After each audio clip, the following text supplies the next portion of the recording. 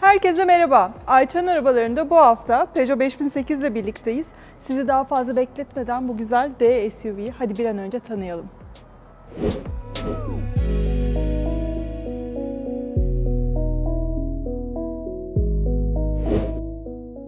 Evet geldik Peugeot 5008'i tanımaya. Ama sadece Peugeot 5008 değil, Peugeot SUV ailesi genel anlamda ülkemizde çok sevildi. E, etraftan da aldığım yorumlara göre 2008, 3008, 5008 hem çok satan hem de çok sevilen, tasarımıyla dikkat çeken modeller oldu. Açıkçası ben de bir kadın olarak Peugeot'un bu modern ön yüz tasarımını çok beğeniyorum. 5008 ailenin en büyüğü olarak tabii ki boyutlarıyla en heybetlisi e, ve 7 koltuk seçeneğiyle de daha kalabalık ailelere hitap eden modeli. Geçtiğimiz sene tam da bu zamanlar Aralık ayında 3008 ve 5008 makyajlı görünümüne kavuşmuştu. İşte bu gördüğünüz güzel led farlarımız, aslan dişlerimiz ve ön ızgaramız tamamen Peugeot'un modern yeni yüzünü temsil ediyor.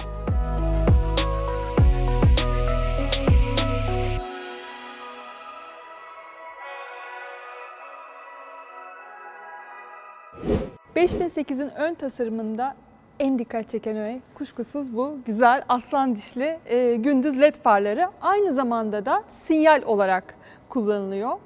Ve tabii yukarıdaki e, kısa uzun far grubu da tamamen full led far.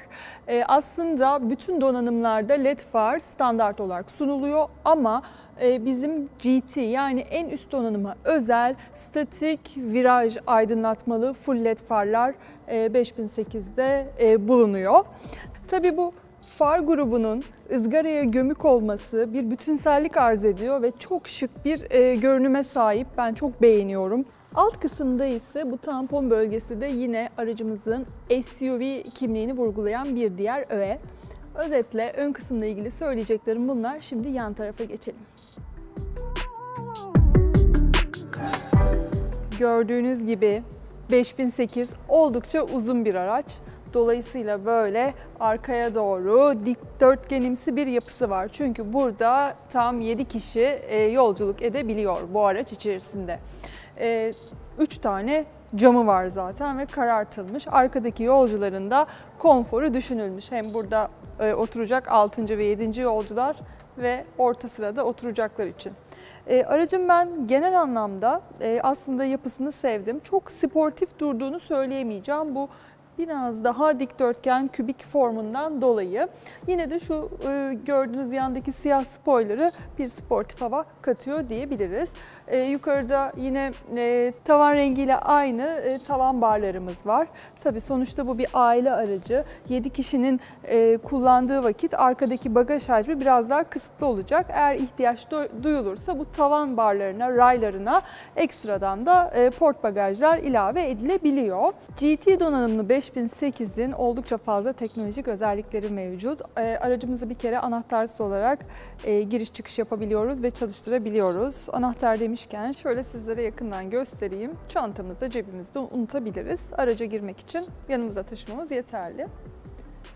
Aynalarımız da otomatik olarak biz aracı kilitlediğimizde kilitleniyor. Aynı zamanda sinyalleri de yine aynanın üzerinde bulunuyor. Şöyle baktığımızda da aynaların üzerinde sinyal detaylarını görüyoruz. Gerçekten çok şıklar. Aracın ön yan kısmına baktığımızda GT görüyoruz. Bu logo bize aracın donanımını e, gösteriyor. Peugeot 5008, Allure başlangıç seviyesi, GT Selection ve GT olmak üzere 3 farklı donanımla satışa sunuluyor. Bu arada aracın bu turuncu rengi çok güzel. Siyah siyah e, tavanla birlikte çift renk e, seçeneği de bize sunuyor. Farklı farklı renkler katalogda yer alıyor. Zevkinize göre tercih edebilirsiniz. Jantlarımıza da bakacak olursak 19 inç boyutunda elmas kesimli çok şık, çok sportif jantlar e, bulunuyor. Ben beğendim açıkçası. Krom ve siyah detaylarla bayağı bir e, havalı gözüküyor. Tasarımı da bütünlüyor. Hadi şimdi bagajı yani bu 7 koltuklu D segmenti aracının en merak ettiğimiz kısmına bakalım.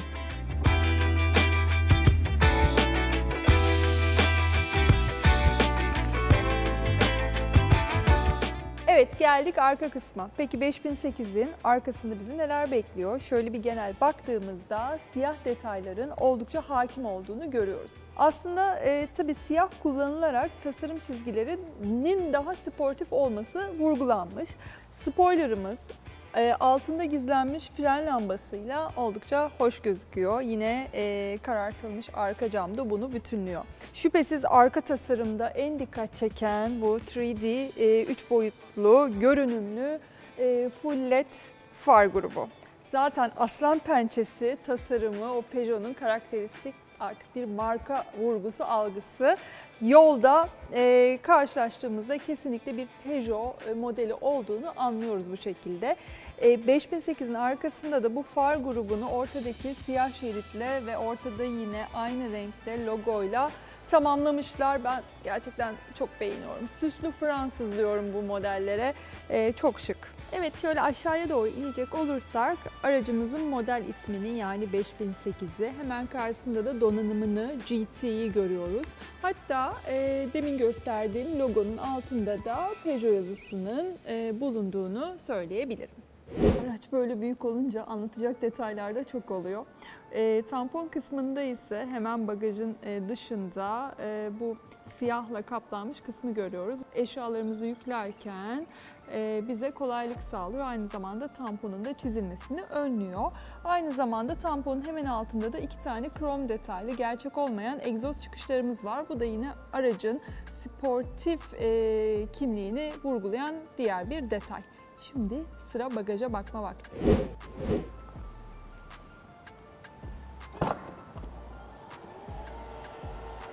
Evet geldik bagaj kısmına. Gördüğünüz gibi e, tek bir ayak hareketiyle isterseniz anahtarla uzaktan, isterseniz aracınızın içinden bagajınızı açabilirsiniz. Elektrikli bagaj tabii ki böyle D segmenti bir SUV'nin bence olmazsa olmazı. Hatta dün AVM'deydim ve ellerim epey bir dolmuştu. E, bu teknolojiyi kullandım ve çok da rahat ettim. Şimdi bakalım bagajın genişliğine. 7 koltuklu bir SUV'den bahsediyoruz. E, aracımızın e, bagaj hacmi arka koltuklar yatıkken 780 litre ama e, tamamen e, bagajı kullanmak istediğimizde tüm koltukları işte zaten kızaklı orta koltuklar sonuna kadar dayayıp katlayıp vesaire en boş formuna ulaştırdığımızda bu hacim 1940 litreye kadar çıkıyor. Oldukça geniş, ferah bir e, bagaj hacmi bizi karşılıyor. Yani sadece yolcu değil ciddi anlamda yük de taşıyabiliriz 5008 ile. Onun dışında şöyle bir detaylara bakacak olursak e, şuradaki yan kısımda bir cep görüyorum. Yine bir saklama alanı olarak kullanılabilir. Burada gördüğünüz gibi sabitlemek için bulunan e, aksamlar var. Bir de size en arka koltukların nasıl kaldırıldığını ve katlandığını göstereyim. Şu şekilde üzerindeki kısmı katlıyoruz ve bir çekişte gördüğünüz gibi kaldırıyoruz. Katlanması ise yine şu aşağıda bulunan kısmı hafif bir şekilde çekerek kolaylıkla sağlanıyor. Bunu da örttüğümüzde işlem tamam. E, iki koltuğu da kaldırmamız gerektiğinde tabii ki arkaya oturulabilmesi için burada bulunan pandizotumuzu da çıkartmamız lazım. Hadi şimdi içeriye geçelim ve hep birlikte hem ortadaki hem de en arkadaki yolcuların yaşam alanını birlikte keşfedelim.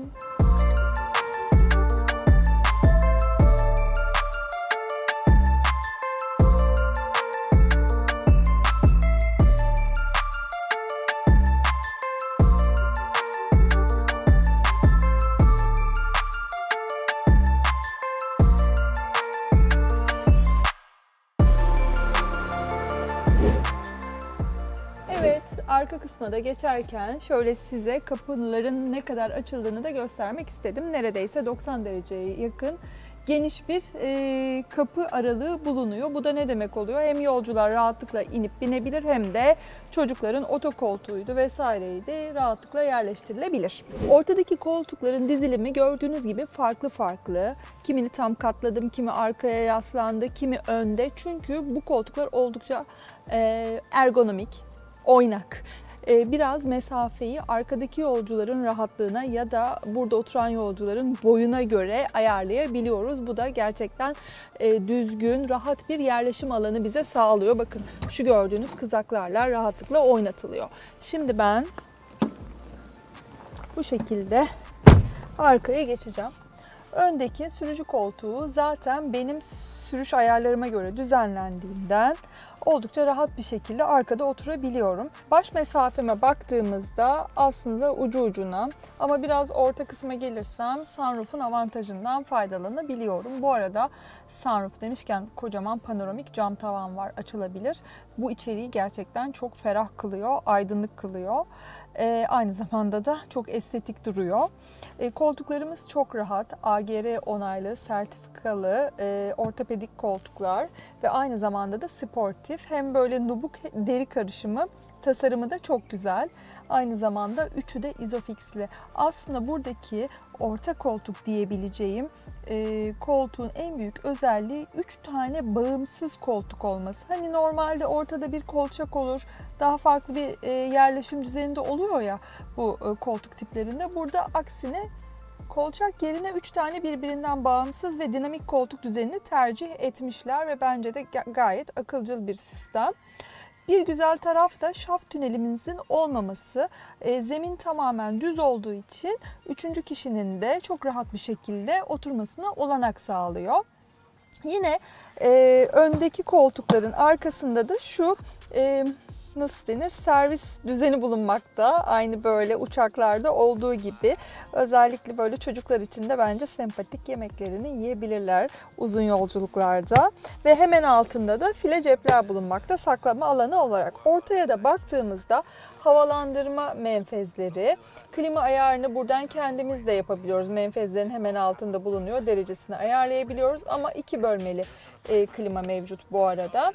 E, ve burada da 12 voltluk bir Yine soketimiz var. Altta da iki tane hızlı şarj alanı bulunmakta. Tabi böyle aileler için düşünülmüş. Daha doğrusu 7 kişinin e, yolculuğunu sürücü dahil düşünülmüş araçlarda mümkün olduğunca hem havalandırma hem de e, şarj alanlarının bol olması artık günümüzün bir gerekliliği. Dolayısıyla bunları düşünmüş olmaları gayet güzel. Kapı içlerine de bakacak olursak yine bu nubuk e, dokunduğunuzda gerçekten çok hoş bir e, hissiyat veren malzeme kullanılmış. Etrafında ise daha sert malzemelerden faydalanılmış. Tasarım olarak e, dikdörtgen formlu e, cam gayet güzel. Hani arka yolculara e, ferah bir yolculuk imkanı sağlıyor. Zaten karartılmış olduğu için güneşi nispeten kesiyor ama aynı zamanda şu gördüğünüz perdeyle de tamamen yoğun ve dik geldiğinde güneşi engellemek mümkün. Özellikle çocukları e, epey rahatlatır bebekleri daha doğrusu otokoltuğunda olan. E, camlarımız zaten elektrikli. Özetle bu orta kısım için söyleyeceklerim bunlar. İsterseniz bir de kısaca sizin için arkaya geçeyim. Benim boyutlarımda biri bakalım arkaya nasıl yerleşebiliyor. Evet en arka kısma da geçtik ama şu mavi ambiyans ışığı nasıl duruyor gerçekten e, hoşuma gidiyor benim böyle farklı renklerdeki e, gece içeriği aydınlatan detaylar hep üst donanım araç alıyorsam mutlaka o özelliğe de bakıyorum. Peugeot'da da güzel durmuş. Arka kısma geçtiğimizde ise 1.73 boyundaki bendeniz baş mesafesi olarak evet sığdım. E, camım da aslında İnanın çok küçük değil. Bazı böyle B SUV modellerinde bu kadar arka camlar olduğunu söyleyebilirim. Hani basık ve kupe tarzında oluyor ya. O yüzden rahatsız etmedi. Hemen burada 12 voltluk bir güç soketi var. Yan tarafta ise içeceğimi koyacak bir alan ve yine bir saklama alanı gibi bir detay bulunmakta. Diz mesafesi olarak da ayaklarım bu koltuğun altına doğru yerleştirdim ve şu an dizlerim koltuğa dayanmıyor. O yüzden bence rahat. Ama tabii ki benim tercihim bir ön koltukta seyahat etmek ve arkaya da benden daha kısa boylu yetişkinler ya da çocukların olması diye yorumlayabilirim. Ee, yani gerektiğinde arkada da arkadaşlar belli bir mesafe seyahat edilebilir. Evet en arka kısmı da bitirdiğimize göre sıra en önde. Şimdi biraz da kokpit alanını birlikte keşfedelim.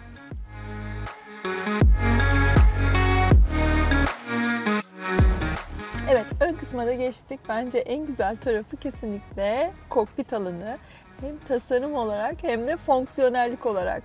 Şu gördüğünüz güzel AGR onaylı elektrikli hafızalı ısıtmalı koltuklar aynı zamanda da masaj yapma özelliğine sahip farklı farklı kedi patisinden bel masajına, omuz masajına kadar farklı farklı özellikle size masajlar yapıyor. Hal böyle olunca da 5008'i kullanmak yorgunluk değil tam bir rahatlık oluyor. Koltuklarımızın rahat olduğunu söyledik. Şimdi de şu oturma pozisyonumuza baktığımızda güzel altıgen formlu direksiyonumuz ve hemen onun üzerinde yükselen e, dijital gösterge panelimiz yer almakta ve farklı modlara göre de e, ayarlayabiliyorsunuz göstergeyi. Hangi seçenekleri, hangi m, grafikleri görmek istiyorsanız ona göre seçenekler mevcut. Direksiyonumuzun hem tasarımı güzel hem de çok fonksiyonel bir e, direksiyon. Sürüşte buna daha fazla değineceğim ama üzerindeki tuşlarla da hem multimedya ekranını hem de gösterge panelini kontrol edebiliyoruz. Ayrıca direksiyonun hemen arkasında da şu gördüğünüz F1 kulakçıklarımız var ki bu sürüşü de daha keyifli hale tabii ki getiriyor. Ee, bir de üzerinde GT donanım seviyesi yazıyor. O da yine güzel bir detay. Gösterge panelini iyi görebilmek için direksiyonun pozisyonunu iyi ayarlamanız lazım. Bu hem oturuş e, açılarınızla, pozisyonunuzla alakalı hem de direksiyonu doğru ayarlamanızla alakalı. E, aksi halde direksiyonumuz küçük olduğu için ve şu aradan panel gözükmediği için ortadan ikiye bölünecektir. Bunu bütün Peugeot e, modellerinde yaşayabilirsiniz. E, ama ben 5008'de doğru oturuş pozisyonumu rahatlıkla ayarlayabildim. Yine diğer e, yeni e, Peugeot'larda olduğu gibi bu piyano tuşları, işte vites topuzu, multimedya ekranı e, tamamen kardeşlerini de bana yansıtıyor. Yine benim aracımda bu en büyük boy e, multimedya ekranı e, mevcut. Birçok özelliği var. Kolaylıkla telefonunuzu bağlayabiliyorsunuz. Android Auto, Apple CarPlay, e, telefonunuzu da ekrana e, yansıtabiliyorsunuz bu özellikler sayesinde. Aynı zamanda e, klima ayarlarını da yine e, bu ekran üzerinden yapıyorsunuz. Sesli komut özelliği de var aracın birçok teknolojik öğeyi e, içinde barındırıyor. Vites topuzunun e, boyutunu hep çok seviyorum. PSA grubunun birçok modelinde zaten kullanılıyor. 8 ileri EAT şanzıman e, otomatik vitesimiz. Aynı zamanda El frenimiz de burada gördüğünüz gibi elektrikli. Drive modlarımızı aracımızı kullanırken spor, konfor, işte eco modlarını buradan değiştirebiliyoruz. Ona göre dijital ekranda aslında e, değişiyor. Şurada yine küçük bir saklama alanı var. Gördüğünüz gibi anahtarımızı koyabiliyoruz. Burada da hem saklama alanı olarak kullanabileceğimiz hem de kablosuz e, şarj e, yeri bulunmakta ve hemen üzerinde de 12 voltluk bir soket ve yine e, aracımızın Android Auto özelliğini kullanabilmemiz için kablomuzu takmak için yine bir burada USB alanı mevcut. Burada da iki tane kahvemizi koyabileceğimiz ayarlı yani sabit değil boyutuna göre ayarlanabilen içecek gözü var ve burada kocaman aydınlatmalı bir e, saklama alanı var. Neredeyse içeriye kadar uzanıyor. Oldukça geniş boyutlarda. E, çok ferah Malzeme kalitesinden de bahsedecek olursak bu dokunduğumuz nubuk yüzeyler benim çok hoşuma gitti. Gri detaylı e, ve bu piyano tuşlarıyla da bence tam bir estetik, görsel bir şölen. Bu arada multimedya ekranı hafif bana doğru eğimli ve sanki burayı bir hani sürücüye özel alan gibi çevrelemişler. Fark ettiyseniz buradan böyle kapalı ama bana doğru açık.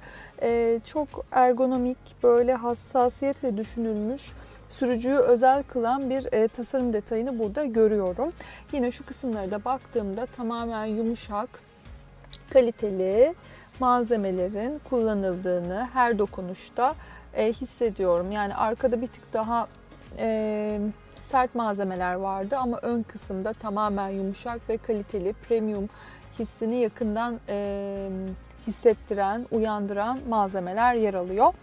E, burada çerçevesiz e, dikiz aynamız tabi gece otomatik olarak kararan hem çok ergonomik hem de gerçekten e, çok hoş bir tasarıma sahip. Güneşliklerimize de bakacak olursak boyutu oldukça iyi ve sarı ışıklı led olsaymış daha şık olurmuş ama ışıklı olması gerçekten önemli bir detay. Ee, özetle söyleyeceklerim bunlar. Peugeot 5008 kokpit tasarımıyla bence oldukça şık ve kaliteli. Özetle 5008'in dış tasarımı, iç tasarımı e, bu kadar. Şimdi dilerseniz test sürüşüne geçelim. Evet,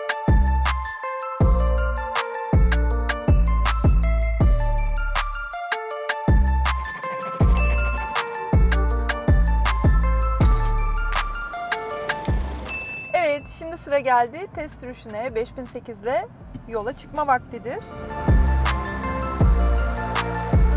En keyifli bölümlerden biri kesinlikle sürüş kısmı. Ben böyle büyük araçları kullanmaktan keyif duyuyorum. Geçtiğimiz haftalarda da Skoda Kodiaq'ı e, denemiştik. 5008'de bu anlamda sürücüsüne keyif veren, konfor sunan modeller arasında. Test aracım GT donanım 1.6 e, dizel turbo motora sahip. 130 beygir gücünde 300 Nm torka sahip. E, tabii dizel olunca e, motorumuz daha ekonomik, daha verimli bir e, yakıt tüketimi sağlıyor. 4.1, 4.2 e, litre e, seviyelerinde bize e, bir karma yakıt tüketimi sunuyor katalog verilerine göre. E, katalog verileriyle de çok fazla şaşmayan bir aslında tüketime sahip. Çünkü tabii bu biraz sizin kullanım şeklinize göre değişen değerler olacaktır. Hani hangi modda kullandığınız, ne kadar trafikte, ne kadar uzun yolda kullandığınız mevsim şartları tüm bu değerleri etkiliyor. Onun dışında e, maksimum 190 e, km saat hıza ulaşırken 0-100 km hızlanmasını ise 11.7 saniyede gerçekleştiriyor 5008.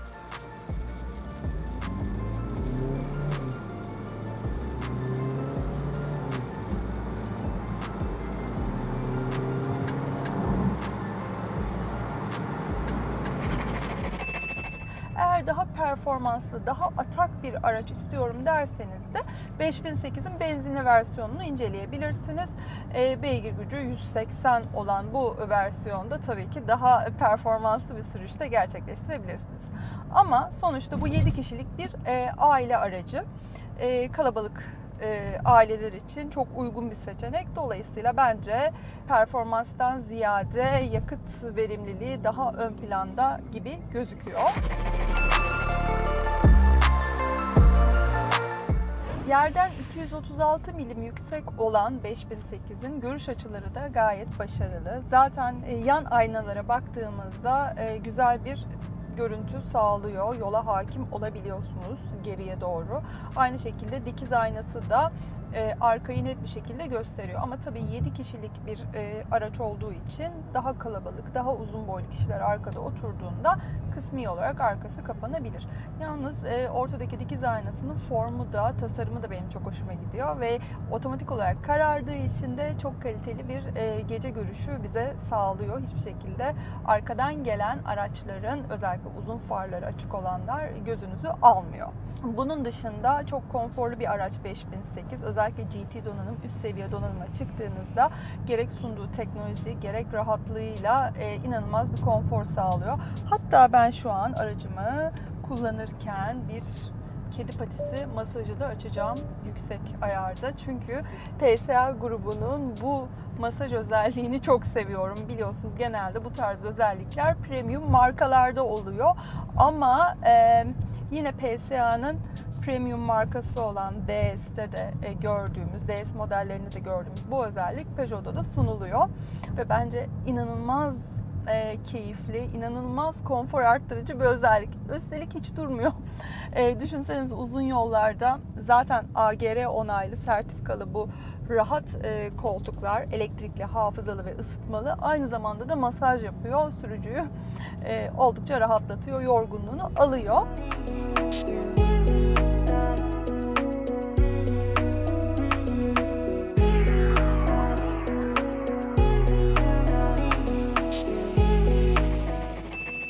5008'in manevra kabiliyeti de çok gelişmiş. Çünkü bu özel direksiyon diğer e, yine Peugeot gruplarından tanıdığımız 508'de, 2008'de, 3008'de, e, 208'de bu ergonomik altıgen formlu direksiyon e, inanılmaz rahat, kullanımı inanılmaz pratik. Belki böyle hmm, bu büyük heybetli yapısı sizi ürkütebilir. Şehir içinde ne kadar pratik olabilir diye düşündürebilir. Bence gözünüz hiç korkmasın. E, bir test edin derim. Çünkü bu direksiyon sayesinde aracın dönüşleri o kadar e, kolay, manevrası o kadar rahat ki ve aynı zamanda park açısından da geri görüş kamerası olsun, 360 derece park kolaylığı olsun. Yani tepeden görüş imkanları aracı çok daha rahat kullanmanızı sağlıyor. Tabii aynı şekilde de sensörlerimiz de mevcut.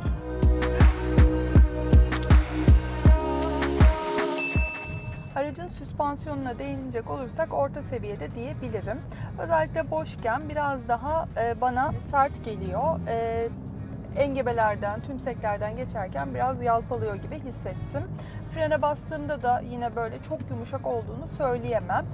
Ama e, inanıyorum ki araçta biraz daha ağırlık olsa yolcular ya da yük anlamında daha dengeli, daha rahat bir e, sürüş imkanı da sağlayacaktır. E, yalıtıma değinecek olursak yalıtımda da ben e, gayet beğendim. Özellikle otoban hızlarına çıktığında 140'a kadar çok rahat bir şekilde e, aracınızda sessiz bir ortam bulunuyor ve bu güzel focal ses sistemiyle de keyifli bir yolculuk gerçekleştirebiliyorsunuz. Ses sistemi de gayet başarılı. Bir de zaten böyle araçları e, şöyle nitelendiriyorum ben. Hani yüksek hızlarda sanki 80 ile 90 ile gidiyormuşçasına e, geliyorsa o göstergeye baktığımda o hızı görüyorsam anlayın ki o araç konforlu bir araç. Yalıtımı da iyi, sürüşü de keyifli. Çünkü size o yolu hissettirmiyor.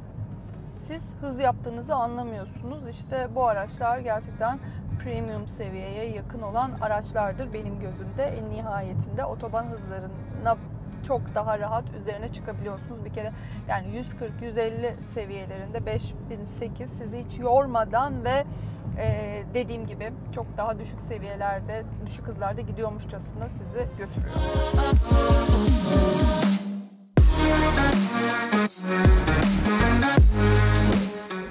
Özetle 5008 7 koltuk seçeneğiyle kalabalık aileler için, çocuklu aileler için çok güzel bir seçenek.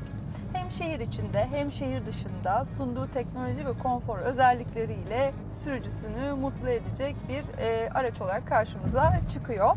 Eğer siz de büyük bir e, araç almak, e, otomobile binmeyi düşünüyorsanız kesinlikle e, Peugeot 5008'i test edin derim. Haftaya yeni bir test sürüşünde görüşmek üzere diyorum. Şimdilik hoşçakalın.